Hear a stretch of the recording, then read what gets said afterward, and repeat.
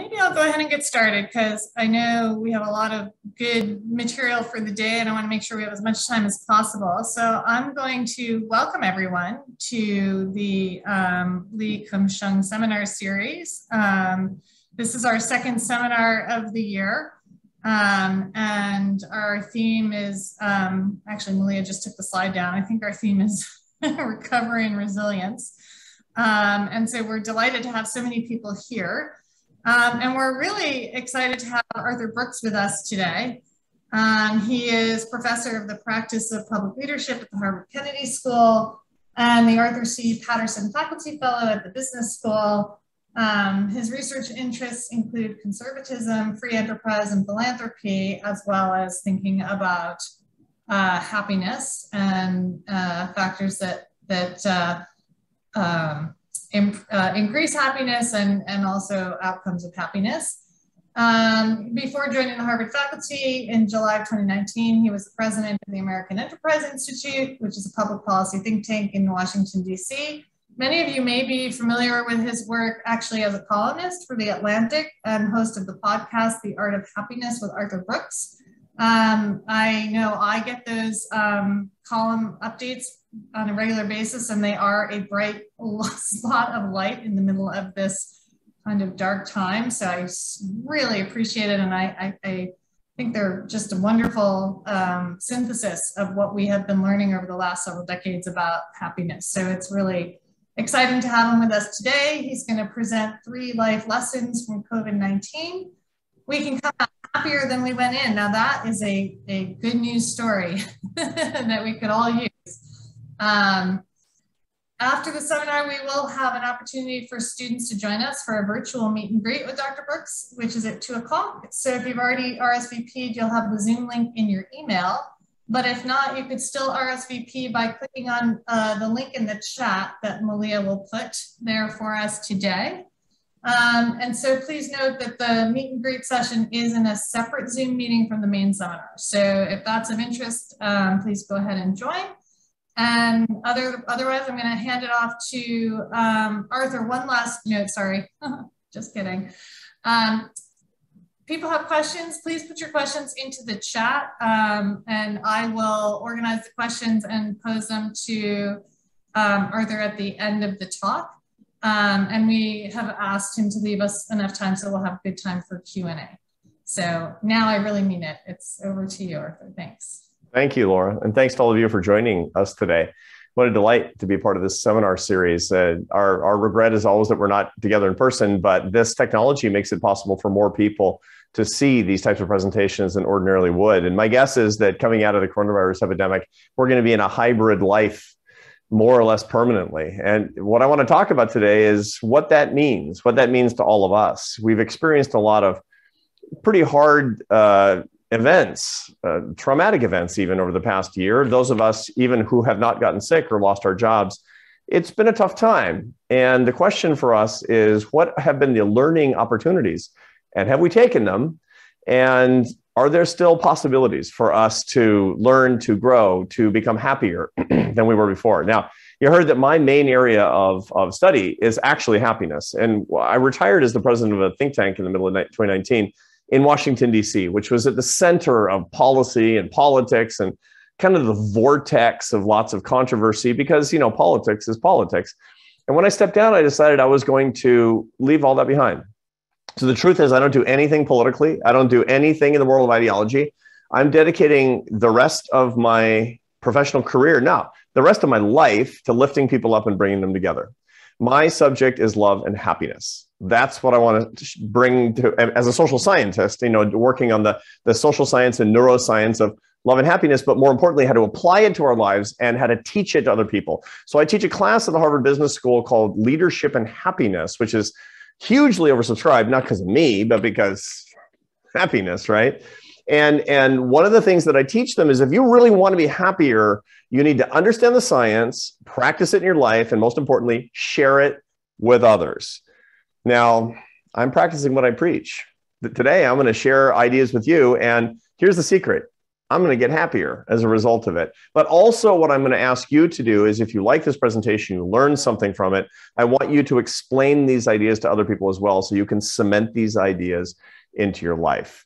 Okay, now, when I first came to Harvard, I had no idea how much of a uh, an experimental lab in happiness I was about to start to experience. I had no idea I was going to get to Harvard, and six months later, we are all going to go home because of a global pandemic, and and people were going to be talking about how miserable they were, and and suddenly my work is, was going to become more relevant than I thought it was going to be. But that is the subject I want to talk about today, because as you're going to see, it has really given us a whole lot of opportunities to understand ourselves, to understand others, to lift each other up, and to actually come out better than we went in. That's my job today. Let's see if I can convince you. And I'm going to start by sharing my screen so that we can. It's usually better when we're in the Zoom environment to not just look at a talking head on the screen, but to actually look at some visuals. Life lessons from COVID 19. This is what I've been writing about in the Atlantic. I have a book coming out about this in February, and I'm, I'm really delighted to be able to talk with you about it here today. So, let me start with this picture here. These people are people who are well known to me and beloved by me. These are my mother and father in law in Barcelona. My father in law, now of blessed memory, of a couple of years ago. My mother in law is still alive. She's 92 years old. My mother in law there uh, in, in, the picture. And um, they were happy. This is when they were 21 years old. They were just newly married and, and you know, in love and happy. It wound up not being a happy marriage unfortunately, and this happens sometimes. By about five years into the marriage, it was clear that there was not a high degree of understanding, and let's just say not a very high level of good behavior on the part of my father in law. My father in law wound up being a really great grandfather. But he wasn't a very good father, and he wasn't a very faithful husband, unfortunately. And and some years into the marriage, not very many, when my wife uh, was a little girl, was six years old, he he left with another woman. He didn't pay child support. Um, it was a bad situation. And this is during Franco era Spain. This is in Barcelona. And, and so there were no protections. It wasn't like what we would think about, well, just go to the courts. No, there wasn't any redress from my mother in law.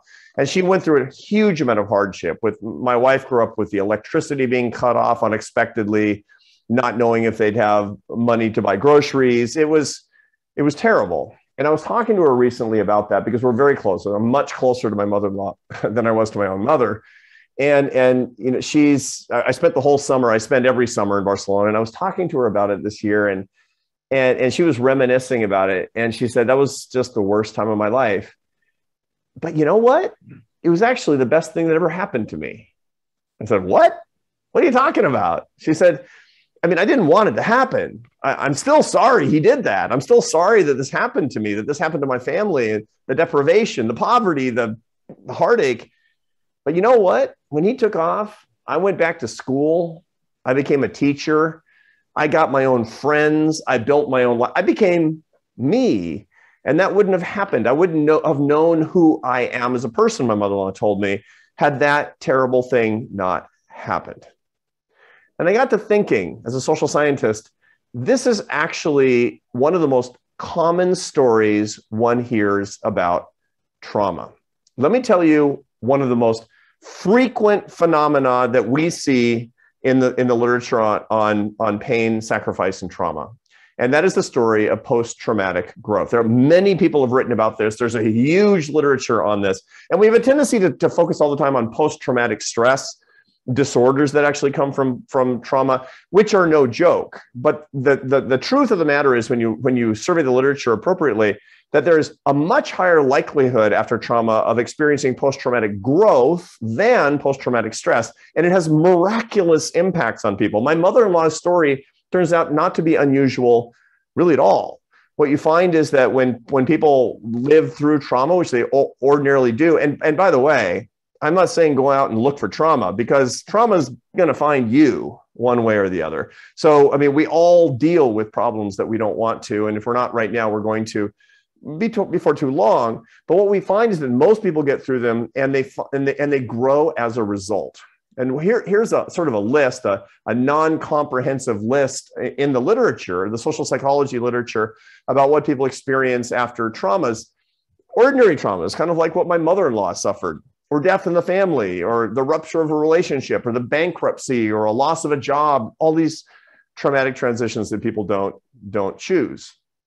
they find that afterward their relationships are deeper, permanently deeper with the people who, who suffered with them.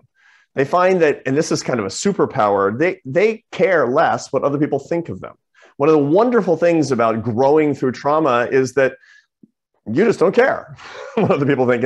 And what a wonderful thing to not care what other people think. There's greater resilience to future trauma, which I know is one of the themes, the leitmotifs of this particular series is resiliency. And people do tend to be resilient. And in, in point of fact, people get stronger with trauma in much the same way that people, when they exercise a muscle, the muscle gets stronger because you're actually exposing the muscle to damage, to trauma. And then people also find a much higher level of philosophical depth, adroitness, even spirituality as a result. This is a non comprehensive list. But what it shows us is that there's real benefit that comes from from sacrifice, from pain, and even from trauma. One of the things that I talk about with my class at the Harvard Business School is that that happiness, which is the subject of the class, actually has three macronutrients to it. Kind of like food has macronutrients of protein, carbohydrates, and fat. Happiness is made up of enjoyment, satisfaction, and purpose. And purpose, paradoxically, requires traumatic experiences. Nobody says, I found my purpose in life on that wonderful vacation to Ibiza with my friends. That's not how people find their purpose. People find their purpose when they're put to the test. And people don't like to be put to the test. It's hard, it's difficult, it can be it can be, you know, something that can be one of the worst experiences of our life. And yet people will always track their purpose back to these difficult times. Happiness paradoxically relies on unhappiness and the connective tissue between the two is post-traumatic growth. Now, why do I bring this up? Because here's my main question today What can we get from COVID 19? Now, again, blessedly, I'm sure that most people on this call, because I'm looking at the data on the coronavirus epidemic, most of you um, didn't get sick. Um, probably most of you didn't lose a close family member, although some of you perhaps did, in which case I'm, I'm deeply sorry. Um, most of us didn't not have our, our, our, our jobs threatened or bankruptcies to our companies. But you know what? We all suffered. And, and how do I know that people suffered who actually didn't weren't directly touched by the coronavirus epidemic? Well, because I'm looking at the emergence of what is now being termed by clinical psychologists as what they call COVID anxiety syndrome, a, a, level of clinical anxiety heretofore unknown that's only explainable by living through these conditions of extreme isolation, um, tension, the inability to actually make human contact that people have become accustomed to. 43% of adults have experienced high loneliness during lockdowns. And this is on top of, this is exacerbating what our, our wonderful uh, Surgeon General Vivek Murthy calls the epidemic of loneliness. This has supercharged the epidemic of loneliness, particularly people in their 20s. So we find that the people in their 20s are less likely to have uh, romantic relationships than they have in the past. They're less likely to have a, a, a, strong group of close friends than they have in the past. And this was before the epidemic. The epidemic has, has supercharged these things such that basically half of adults are experiencing high loneliness, which is this is unknown territory in mental health for us.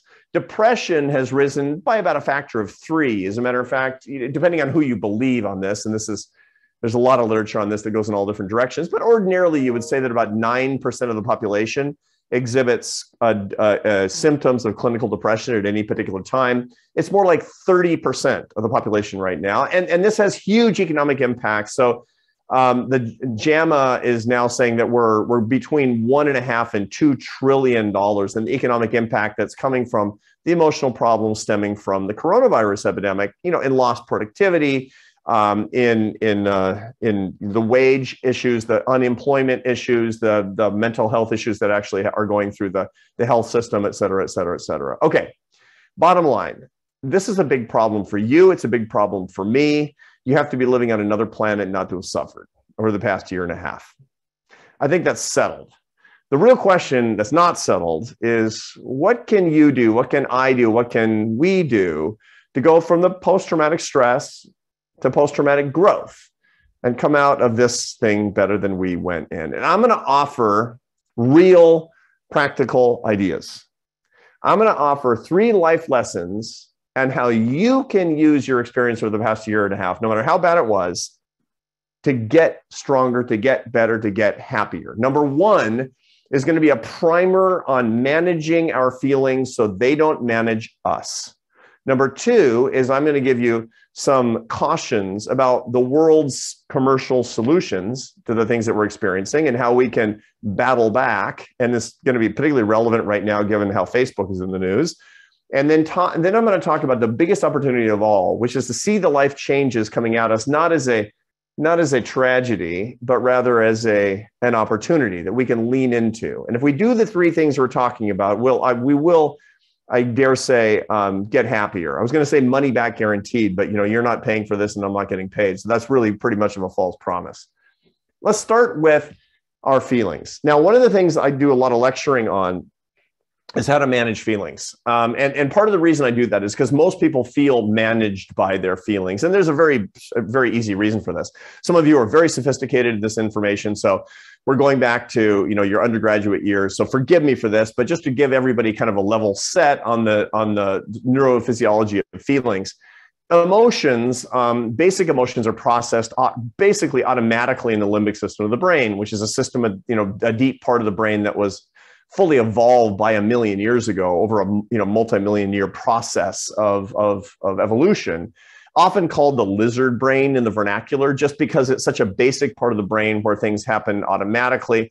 Uh, Danny Kahneman calls it system one. There's all kinds of different ways to talk about this, but the bottom line is that this is your automatic onboard processing for outside stimuli so they can translate into the feelings that you need to behave automatically and appropriately to the stimuli. So, for example, let me let me let's talk about you know anything that would happen. You're suddenly interested in something. Well, that's your limbic system actually responding and and working with a neurotransmitter called dopamine to focus you in on something that's really interesting. Why? Because over the evolutionary process, it's good for you to be interested in things so that you can learn, make progress, um, and survive.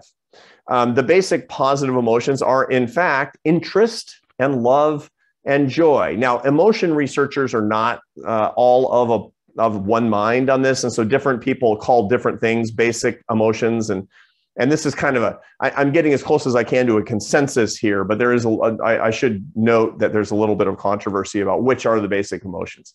The basic negative emotions are sadness, anger, and disgust and fear, and these are the things that we don't like. But but guess what?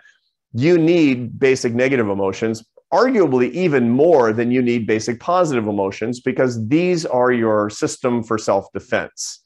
It's very clear of the evolutionary process the people who have, who have really acute uh, very strong uh, um, emotional negative emotional systems they tend to survive and pass on their genes. And there's all kinds of reasons for them. They they they for for example they keep you safe because you're on high alert uh, through your fear through your disgust for a pathogen through your anger that actually comes that actually makes you want to defend yourself naturally. So that's a really important thing to keep in mind. But here's the problem. I mean thank goodness for our basic emotions. Three cheers for our basic emotions. But it in modern life where we don't have too many saber-tooth tigers chasing us around and, and we're not in danger of you know consuming a poison at any given moment so we have to be acutely aware of the disgust that we might feel, be feeling for a smell or for a taste or something. We're maladapted to how our negative emotions are tending to dominate our our, our person. In other words we tend to be managed by negative emotions a lot and that's a big problem they make us miserable. They make us unhappy and they can make us ruminate. They can actually put us into a lot of the syndromes that we see that we classify as mental health problems. So a, a lot of depression and anxiety has to do with the, the over management of us by our negative emotions running wild and maladapted to the social situations in which we find ourselves. The question is really not to get rid of basic emotions. On the contrary, it's how we can manage them appropriately under our current circumstances. So, how do you do it? How do you do it? And this actually takes us not from the world of, of neuroscience and social science. This is going to take us backwards a couple of thousand years to, uh, to the Greek philosophers and to the Buddhist thinkers and to ancient Vedic wisdom about how to manage a feelings problem. Now, there's lots and lots of different ways to put this. I have studied uh, quite a bit in Dharamsala with the Tibetan Buddhist monks and His Holiness the Dalai Lama, and they always will teach me the same thing. They'll always say, they, you need to observe your feeling, observe your emotions, observe your emotions. What are they saying when they're telling you to observe your emotions? Well, a very simple thing is what they're saying. They're saying, take the feeling that's originating in the limbic system of your brain and move it into the prefrontal cortex of your brain. That's the big meaty lobes of your brain behind your behind your forehead. and that's where your executive center functions. That's where your conscious thought functions. And when you observe your emotions, you're basically moving those emotions to a part of your brain where you are more in control. Not entirely, but a lot more. And in so doing, you can go from being managed by emotions to at least partly managing your emotions. So, this is incredibly good psychology that the Lord Buddha proposed some 2,500 years ago, where he said to observe your feelings. That is something that we will often talk about in Western social science as metacognition. It is awareness of uh, actually what's going on in your mind to observe your feelings consciously, to make them metacognitive. I'm aware of my awareness to, to no small extent. That's the first step in managing a feelings problem. So let's think about this. If you're having too much anger, you're being dominated by your sadness, and it's holding you back. The first step in this process is observing it. Is saying, I'm feeling angry. I'm feeling I'm feeling afraid right now. And by the way, fear is the master emotion. I'm going to talk about this here in a second. Fear is what, what occupies the biggest part of your limbic system because it's what keeps you alive. But if you're dominated by it and it's actually getting in the way of your love relationships, the first thing to do is to say, I'm feeling afraid right now. Okay. The second step is to analyze it. This is making it even more metacognitive. This is making it even more manageable by saying, why do I have this feeling? Why is it why does it actually exist what is the origin of this? This is all happening in your prefrontal cortex and now it's really your manager is in control of these things. You're getting more and more control mastery over this which is a wonderful thing. And finally the management kicks into high gear which is to do three things to accept the feeling to resolve not to let it bind your actions and then to turn it into an opportunity now, this is a basic master class in how this works, and it's not going to be really helpful unless I, I give you an example. So that's what I'm going to do now an example related to the coronavirus epidemic. Now, what have we all felt over the past year and a half? The main source of discomfort for most people that are not suffering from the disease or losing loved ones is just uncertainty. You know, I would talk to people all the time, and they're afraid I might get sick. Will I get sick? Will I lose somebody I love? Will I lose my job or my business or you know my retirement savings? And actually, here's a big one. Will life ever return to normal? Will I ever have a date in real life, or is it going to be on Zoom forever? Will I ever see my friends again? I haven't seen my bro. I love my brother. I haven't seen my brother in two years. It's just it's ridiculous, and and a lot of people are very very uncertain about the future. This is the biggest problem that we're actually having. So, why is this a problem in the context of unmanaged negative basic emotions? Let's go back to the master emotion. The master emotion is fear. Fear will clear the deck of all other emotions, no matter what you're feeling. Now, one of the interesting things that neuroscientists will tell us is that, that fear, once again, occupies more physical space in the brain for processing than any of the other emotions. It you're a fear machine is the bottom line because look, until relatively recently and sometimes even still today, the world's a pretty scary place and you need to be ready. Fight, flight or freeze and you need onboard computing hardware that make that possible. Fear is a response to threat and it's unbelievable how it works the body reacts to, to threats that, that, that, that, that provoke fear in about 74 milliseconds. So let me tell you just a sketch of what's happening. Let's say that you're walking across the street in Cambridge, you're going to your office, you're going to your work, wherever you're going, and, and a car runs a red light and it's about to run you over in the, in the, in the crosswalk. Now, your visual cortex will process the car coming toward you way before anything conscious is going on in your brain. That stimulus actually that lights up your amygdala, which is these two. They're not actually red like in this uh, like in this picture that's processed that's created from a functional MRI, MRI machine, but this is just for effect. That that your amygdala will light up in reaction to the to the stimulus that's crossing your visual cortex.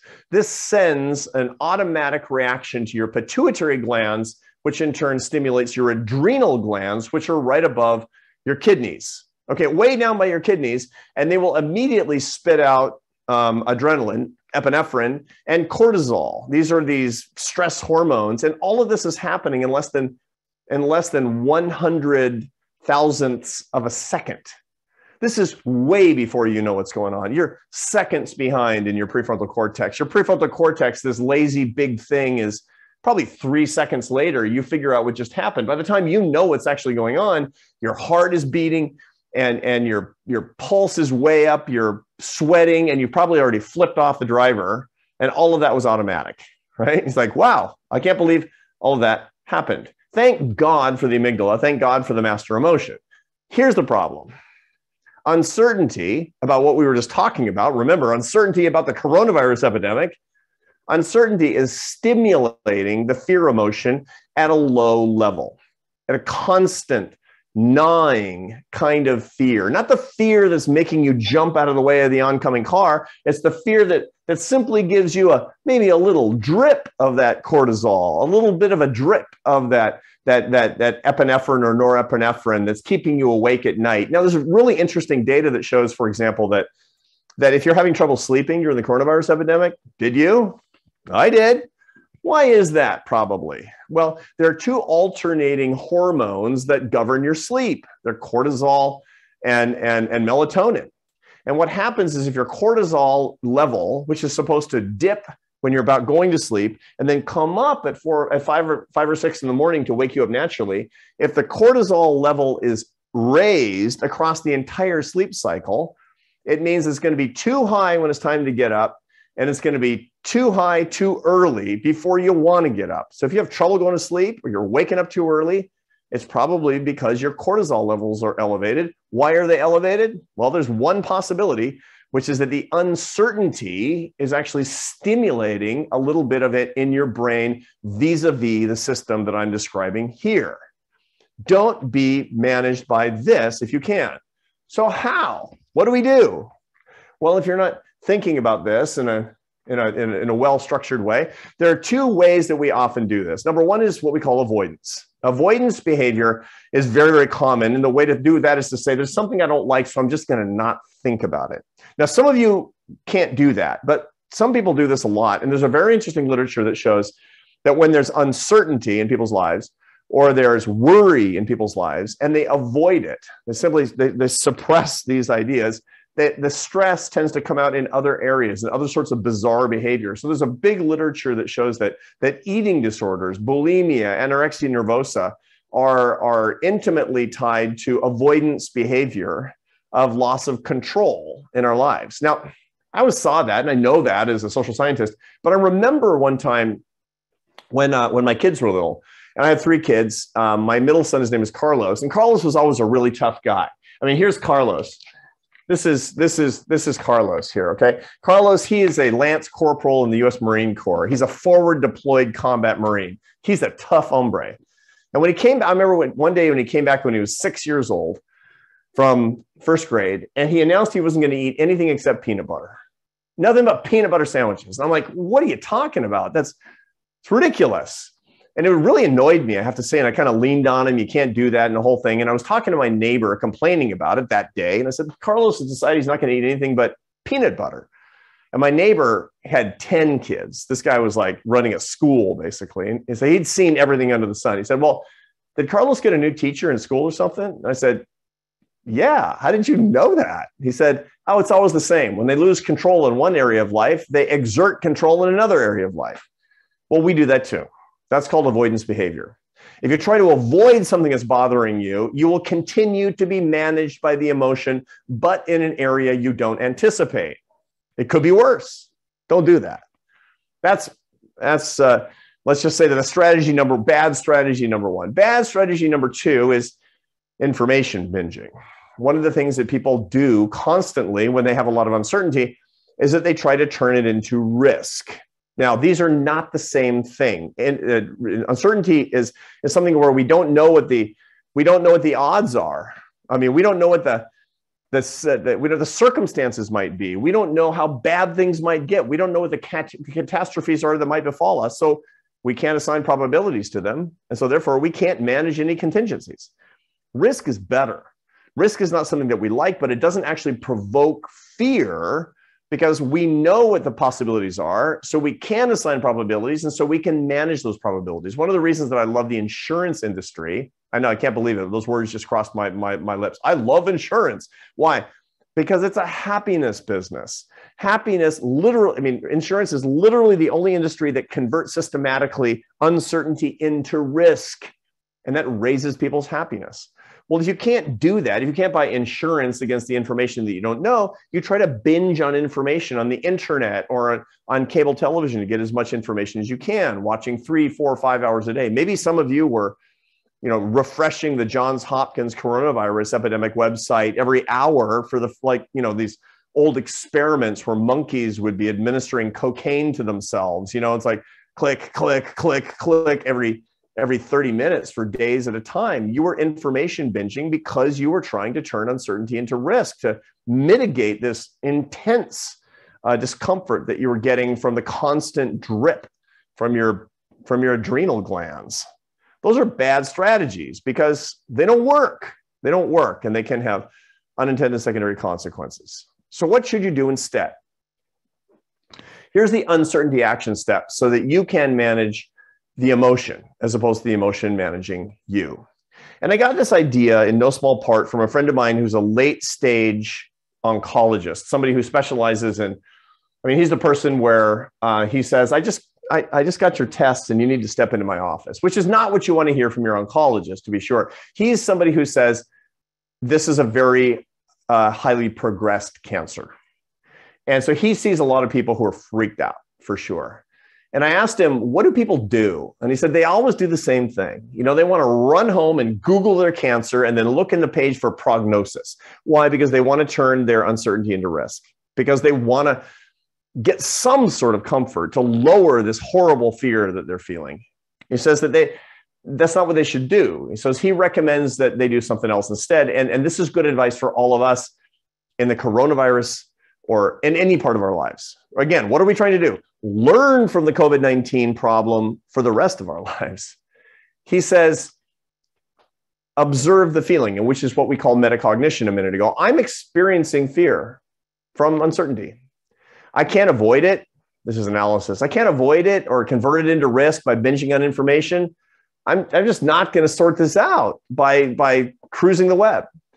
And here's the most important part of the management like I don't know what's going to happen today and tomorrow and next week or next year, but I will not waste the gift that is this day. That's what he tells his patients. And that's good advice for all of us, no matter what we are experiencing, isn't it? You don't know what's going to happen today. You don't know what's going to happen tomorrow or next week. It could be good, it could be bad. But if you're focused on that because you're afraid, you will waste the gift that is this day. Rebel against that and embrace this day. He says that if you repeat these steps to yourself every day, you will be managing your own emotions. And it's perfect science. It's also good philosophy. That's number one. Now, number two, let's start talking about another source of discomfort that we're feeling, which is the loneliness itself. This is a little graphic that the Washington Post did for a column. I used to, I, I, write for the Atlantic now. I used to be a columnist of the Washington Post, and and I was writing about the loneliness at the very beginning of the coronavirus epidemic. And they, one of their wonderful artists put this together because this is kind of how it felt, right? You know, there's other people, but they're on the pane of glass, the Zoom screen, the two dimensionality of the people that we love. And, and people would often say to me that they were intensely uncomfortable because of the loneliness, almost physically uncomfortable because of the loneliness. Well, actually, that's not just some sort of a metaphor. It hurts to be alone. Actually, it does hurt to be alone. because of this. There is a neuropeptide that functions as a hormone called oxytocin, which is often called by neuroscientists the love molecule. This is the structure of it for those of you who are chemists, and many of you are more expert in this than I am. And so I say all these things with appropriate humility. Um, and oxytocin is a, has a really interesting role. What it, it's actually a miracle. It binds us to other people. You get your biggest burst of oxytocin when you lay eyes for the very first time on your newborn infant. So those of you who have children like I do, I mean, I remember holding my my first son for the first time, and he looked up into my eyes, and something just exploded inside my brain. Amazing. One of my children is is is adopted, and I remember wondering. I'm a social scientist, so it's like, how fun am I? Wondering if I'm going to get the same burst of oxytocin, and sure enough, you know, she was a year and a half old, and they put her in my arms, and she grabbed my shirt and looked up at me with her little eyes and boom it happened again. I mean oxytocin is incredible. You see a long lost friend you see your parents for the first time you see your children. It's just the most wonderful thing. It binds us to each other. Now now neuroscientists will often say that it's a good evolutionary mechanism. We need oxytocin so we don't inadvertently leave the baby on the bus or something but but you know this is a source of happiness if you have experienced discomfort, almost physical discomfort during the loneliness that came from the lockdowns and the isolation and the coronavirus epidemic, it's because you had a uh, you had a scarcity of oxytocin, and that lack of oxytocin in your brain maybe it made it harder to sleep. It maybe made it harder to focus. It probably made you grumpy. It probably made you sad because when you don't get enough oxytocin, life is just not that great. So what'd you do? Well, you probably, some of you at least, turned to one of the world's solutions, the commercial solutions. Because guess what? Markets are going to give you all kinds of solutions. And the most prominent of those during the social media, during the social, uh, during the coronavirus epidemic was social media.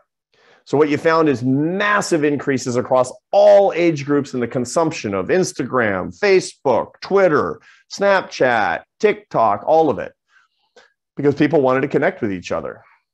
But there's a problem here, my friends. There's a problem. I gave you the um, uh, analogy a minute ago about the, the, the, the, the macronutrients in food. Well, one of the things that we find, one of the really interesting things, uh, public health problems that we see that many of you are involved in and, and quite expert in, is the fact that the public health crisis that we have surrounding the epidemic of obesity in America. And obesity is a really interesting problem because you know, it, it has everything to do with the fact that we have more than we need in our economy to meet our caloric needs. And in fact, we have a calorie to nutrient ratio problem. you know, a lot of nutritionists will say that the best way to lose weight, it's not easy, but the best way to lose weight is simply to is to eat nutrient dense food and never eat when you're not hungry. Your body will tell you when you've met your nutrient needs. Is the whole point. Now it's not as simple as that, but but it's a non-trivial understanding of the problem at hand. Now, why do I bring that up? Because we have all of this food that's highly, highly, highly caloric and delicious and nutrient poor. That's called junk food. That is the equivalent of social media. Social media is the junk food of our social needs it is very, very, very high in the amount of time that it takes and very, very low in the oxytocin that it produces. There's more and more research that's starting to emerge that shows that when you're looking at social media, when you're getting social contact from social media, you get a tiny trickle of oxytocin where what you need is a flood. And so what do you do? You binge. So basically, your social media habits are like living at McDonald's. You're eating burgers and fries, and it's so delicious. I don't know why, but two hours later, I'm hungry again because you didn't meet your nutrient needs. You met your caloric needs days ago, but you still have these nutrient needs. Same thing with social media. If you you look at it and then you're still lonely and you feel sort of satisfied, but five minutes later you're doom scrolling again, it's because your oxytocin needs are not being met. This is a big problem. Now, there's a lot of research from uh, somebody that I've had on my show before named Jean Twenge at San Diego State University, who says that all of your social media combined should add up to less than an hour a day because anything more than an hour a day, you will literally get lonelier the more you use it. Think about that. That's like eating more and more and more and getting hungrier as you eat. It's worse than junk food, it's dangerous for you. So, what should you do instead? You need oxytocin boosters, and those come from within. Now, oxytocin comes from two sources eye contact and human touch. So, one of the things that we need to do is purposive eye contact. I'm not against the technology that we're using right now, but we need to use it for more than these professional purposes. Use them for social reasons Skype, FaceTime, Zoom, any of these technologies. And when you do, you need to look into the camera, like I'm doing right now, because that eye contact actually will stimulate more oxytocin as long as people reciprocate in that and you're talking to people that you love. The second is that you need more therapeutic touch. Oh, by the way, this is my my dog Chucho. He's a very good boy. He actually died, and I miss him a lot. You can get oxytocin by making eye contact with your dog. And, and, and here's a really interesting piece of research that shows that that dogs and canines being evolved in parallel, dogs get a big oxytocin burst when you make eye contact with them too, especially when you touch them. So one of my friends, a guy named Paul Zak at Claremont Graduate University in California, he shows that when you touch and pay attention to your dog and make eye contact, your dog gets a 56% increase in blood oxytocin levels, which is like being madly in love. Your dog literally loves you. Your cat, by the way, gets a 12% oxytocin boost. So, you know, your dog loves you, your cat tolerates you for now. I mean, that's the most obvious thing in the world. So, okay, second thing is touch. And, and given the fact that if you are more isolated than you would have been under different circumstances, which we all were during the coronavirus epidemic, you need more therapeutic, systematic touch with the people around whom you are living. Now, some people lived alone, so this was not open to them, but most people weren't. The problem was that they weren't having enough contact with the people they were living with. They were having the same amount of contact as before, but they have no contact with others. And so they were getting lonelier and having oxytocin problems. I recommend about a 20 second therapeutic hug every two hours for the people that you live with. This will be good for your relationships, but you will find yourself getting happier because your neurochemistry will rebalance under these circumstances. Get rid of the social media, get more eye contact, and hug and love more people in person. Okay, last but not least, let's talk about the changes in our lives and how we can turn this into a source of transcendence. You know, the the coronavirus epidemic was a classic bait and switch. You know, people are pretty dubious of the authorities because they kept changing the I mean, and again, God bless them. I mean, if you're Dr. Anthony Fauci, you're you're being forced to say you know more than you do. I mean, being a public health official under, this, under the circumstances, I'm very close with Dr. Scott Gottlieb. He's, he worked for me in Washington for a long time, and he was being asked to say things that he didn't know the answers to, but I don't know, just kind of isn't good enough. And so people were speculating a lot. The public health officials were telling us that this was going to be a, a momentary or a temporary interruption. And it turned into a transition.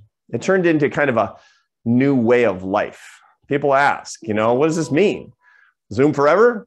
Well, yeah, maybe. I mean, there are a lot of jobs that are never going back, and there are a lot of meetings that aren't going to, and we're going to be doing hybrid stuff forever. What about contact with people? What about the institutions that I actually love? Let's think about that and what that means and how we can make it into something better. Now, to begin with, the amazing thing about transitions like the coronavirus epidemic is that we're always so shocked. It's like, this has never happened. This hasn't happened since the flu epidemic of 1918. Wrong. Every 10 years, something this big happens. It just does. If you're more than 30 years old, you've lived through four of these things that fundamentally changed sort of life on earth. I mean, the fall of the, you know, the Eastern Bloc, the end of the Cold War fundamentally changed geopolitics and the way that we do business. Now, maybe that affected you a little, maybe that affected you a lot. If you were in Eastern Europe, it really affected your life. But even in the States, it was non-trivial. 10 years later, about a decade later, 9 11, this was the end of an era and the beginning of a new era. Um, people who didn't live before that, they have, you tell them the stories about what it was like to go to the airport, they had no idea. Transportation changed, security changed, national security, our, our foreign policy changed. Decade after that was the was the the financial meltdown, which we didn't know if the ATMs were going to keep working. People who graduated from college during that period, they still have not caught up we could arguably say, and I have data that shows, I think proves that that you know the, the political populism and polarization in American life today still owes to the financial crisis. It's affecting our lives. 10 years later, the coronavirus epidemic. The truth is, every 10 years there's something this big. It's just different than the last one. And the problem is that 10 years from now, we're going to have the next crisis, but we're going to be talking about pandemics and financial crises and not ready for the next one because we don't know what it is. But don't don't be surprised. Just be ready not to fix it, but to grow as a result of it. Why do we hate it? We hate it because of what we call negativity bias. When anything is changing, we always look at the negative side of the change, unless we're this is what we call in my business unusually neophilic. This is a neologism. It basically just means love of new things. And some people, I mean, I'm crazy about new things and new adventures and doing new stuff, but I'm not normal in this way. Most people don't want new things all the time. And so the result of that is that they, they have a negativity bias, which is a, an evolved trait in which we say, I'm going to look for and notice the negative because that's going to keep me alive when there's change to the current status quo. That's why we hate change. That's why these types of changes are so uniformly regarded as negative experiences. The problem, I mean, I, the, the, the interesting thing, however, is that as time passes, our negativity bias flips into something we call the fading affect bias. Have you ever noticed that that if you let's say some of you celebrate Christmas, if you celebrate Christmas, you always notice that current Christmases are a little disappointing compared to when you were a kid. The reason is because you have fading affect bias. You remember things in the past as better than they were because what stays with you were the good experiences and the things that you learned. Fading affect bias gives you warm memories. The reason that people find holidays kind of unsatisfactory chronically is not because they're worse now, it's because they weren't as good as you remember them in the past because of this fading affect bias. Now, back to the coronavirus epidemic. We have a negativity bias saying this change that we're going through right now is terrible, terrible, terrible, awful, awful. Fading affect bias is going to make us, if we do it right, remember things during this time as kind of sweet, kind of good, as a matter of fact, if we let it. Now, this is the important thing to keep in mind. Periods of change, which we refer to as liminality, a liminal state, they stimulate a lot of creativity and growth. The problem is if we lean out of this, if we if we say we don't want this, if we fight this, if we resist this, then all we're going to get is the negativity. We won't grow and we won't get the fading affect bias later on. So what does this tell us? This tells us that we need to as you know, all of your intuition says lean out, resist, resist. What you need to do is lean into the changes that are happening in your life. They feel bad. Lean in and learn. Say, this is the way it's going to be. Just run toward the change. If you can, you'll get the maximum amount of fading affect bias. You'll learn the most and you'll get the greatest happiness and creativity and growth. So, how do you do it? Arthur, can I, I just, sorry, can I just jump in so we can have the greatest happiness for everyone in the in the meeting? We are close to time, but we do have some questions. I'm wondering if maybe you have just a couple more comments to wrap up, and then yep, would... I'm I'm wrapping up right now. Perfect. So the key thing that people are talking about is what they liked before the pandemic and what they hate during the pandemic. That's the wrong place to focus your time.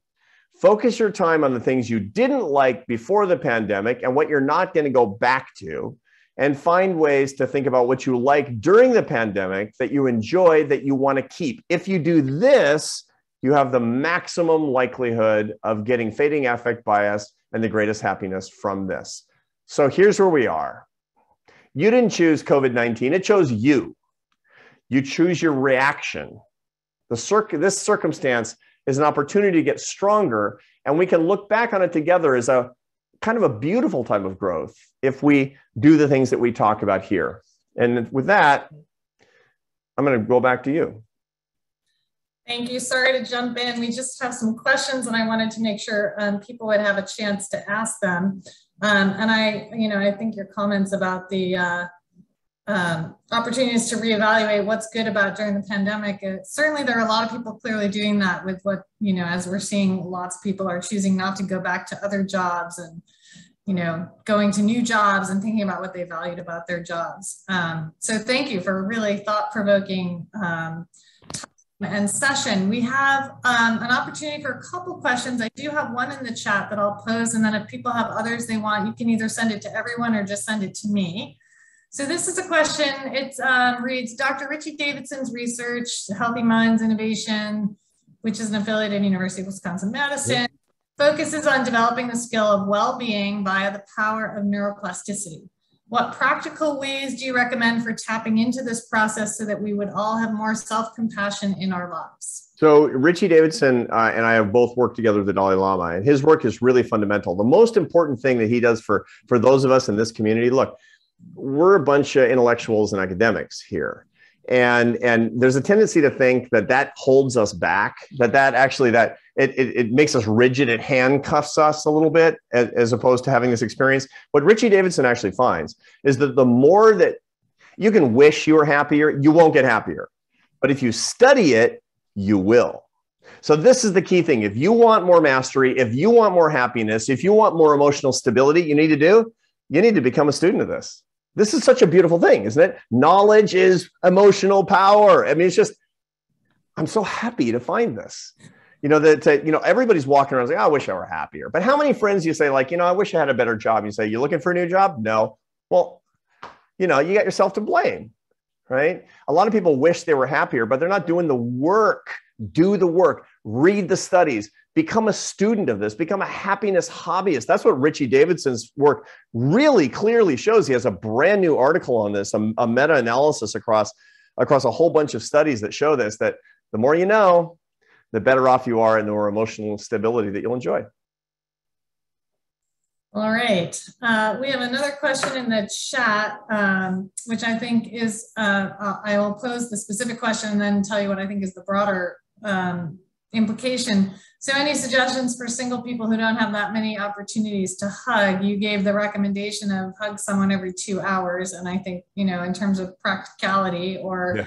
is there is there an alternative or a substitute for that um, that would suit the purpose? Yeah. So to begin with, the good news is that we're not in lockdown anymore. And so we all, we actually all can legally and relatively safely, you know, give it our vaccination status, we can actually have more human contact. And I recommend that people do that. I mean, we've gotten into patterns where we're used to not shaking hands, we're not touching each other, and this this stupid elbow bump is the worst thing ever. But you know, the truth is, building up relationships with friends again who've also been vaccinated, where where there is a, a certain amount of safety, and and using this as a therapeutic opportunity to actually have more human contact, more physical contact, get back into the habit. That's the bottom line. Also, you know, it's interesting that the the the puppy market has increased by 250% during the coronavirus epidemic. There's a lot of hugging going on there too, which is not a really a very bad idea. But the bottom line is that people are better. Hug more people who you safely and and let's say appropriately can do it. Get back into the habits as, as even if you're not living with people. Okay. Um, I, I have a question that I'll pose. It's a prerogative as the moderator, and then there's another one in the chat that I'd like to get to.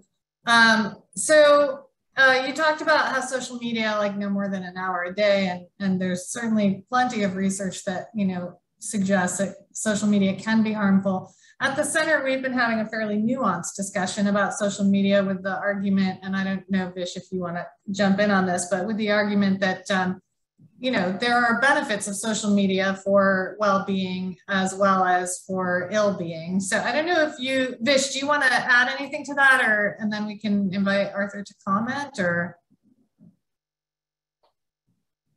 You're on Sorry, mute. I was on mute. You know, it's, it's a classic uh, street lamp effect or what I would call it. You know, people are looking, researchers are looking only for the bad side of social media. So that's what most studies are finding consistently. Right. But there are also functional sides to it in terms of increasing cohesion, sense of cohesion, neighborliness, uh, you know, uh, uh, you know, uh, and other kinds of positive effects. You know, yeah. so so I'm just curious. Uh, you know, I, I, think that's what Laura was asking. There's a more nuanced approach to social media than than what's being in the public discourse. Yeah, sure. And you know, it's like it, it's like anything else. Though how you how responsibly you use a particular tool can can make it a, a, blessing or a curse. And and moderation is always key and using it in concert with your actual relationships is important.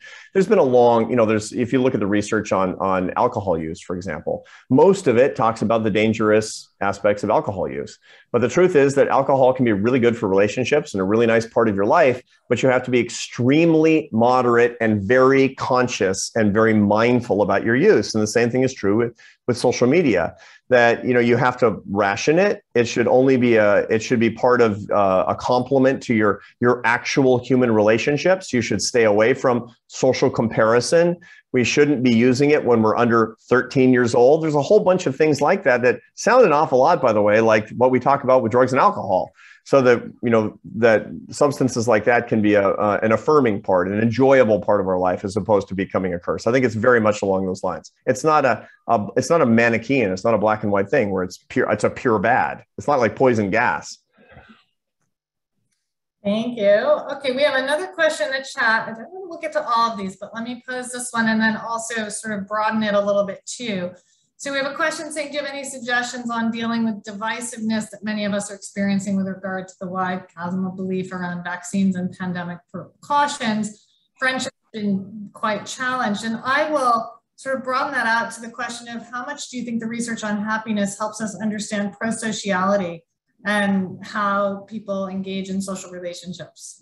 So there polarization right now, given the fact that it's a, it's it's transcendent of lots and lots of things in our society. I mean, the fact that it's kind of a vehicular part of the way that we're doing politics and policy today means that almost no matter what you talk about, it's going to become an excuse to fight the culture war. And predictably, the coronavirus epidemic became a battleground of the culture war, and vaccines became a battleground of the culture war. I mean, anything can become a battleground of the culture war practically at this point. And the reason is because not because of the vaccines, but because we have a culture war. And so one of the things that I talk about, my last book was called Love Your Enemies, and that was that came out in 2019. So that's one of the key things I'm interested in is I want to be a warrior against the culture war, ironically. And so I'm doing, you know, three talks a week, mostly on the road. I'm mostly out of town. I'm not doing very much Zoom these days, as a matter of fact, about actually how to how to lower levels of political polarization. And and a, a large part of that actually has to do with making sure I mean, we have we all have strong opinions about politics and policy and the virus and and you know the treatments, et cetera. But to make sure that when we're talking about it, we are never guilty of treating other people with contempt. Contempt is this idea that somebody is worthless, what they say is worthless. And in so doing, it's an expression of hatred that makes it impossible for us to have a reasonable conversation with anybody else. And you might say that somebody is worthy of contempt, but that actually is not, not a very good argument insofar as our goal should be to persuade other people and nobody in the history of humanity has ever been insulted into agreement has ever been hated into assent for your particular point of view. So the whole thing that i talk about is in these conversations looking for what we think of as unreasonable points of view as an opportunity for us to show the warm-heartedness to show the love to show the reasonableness that will actually be the most compelling and and will actually be most likely to take the fire extinguisher to the to the hot and you know the flames of the culture war that we see today. This should be in other words another excuse for social entrepreneurship to bring more love and reconciliation. Will we win every battle? Of course not. But every single hostility that we see is an opportunity. Well, on that kind of inspiring note, thank you so much. This, there are more questions in the chat, but unfortunately we don't have time to address them all, but I will say lots of people have expressed gratitude and appreciation and have also, you know, said that there are a lot of topics in here that they would love to hear more about. So thank you so much um, for giving us your time. I will just mention to folks um, that our next seminar is going to be Wednesday, November 17th. We have Dr. Andrew Steptoe, who's the head of the Department of Behavioral Science and Health at University College of London. He's also the director of the English Longitudinal Study of Aging. He's done an enormous amount of research in this domain on health and happiness and his talk is going to focus on loneliness, well-being, and resilience during and after the COVID pandemic. So it's definitely going to be very relevant and related to what we've heard today. Um, so I hope we'll see all of you in another month. And in the meantime, thanks again to Arthur Brooks for a really wonderful and thought-provoking. Thank you. Thanks for the work that you're doing at the center. Um, thanks to all of you for for coming to this. Let's uh, let's work to lift people up and bring them together to create more happiness all around us and bring more love. Thank you. You're here.